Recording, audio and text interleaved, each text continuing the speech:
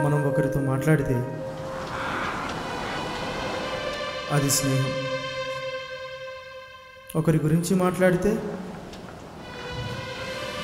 అది ప్రేమ. అదే ఒకరిని తలుచుకుంటూ మనలో మనమే మాట్లాడుకుంటే